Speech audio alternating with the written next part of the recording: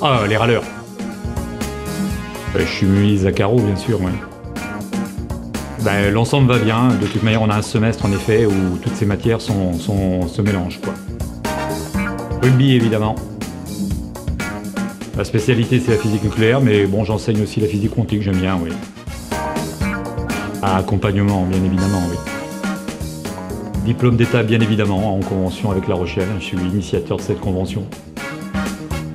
A pas mal, en effet, d'enseignants agrégés. Moi, j'estime que ce sont vraiment les, les vrais professionnels de, la pédagogie.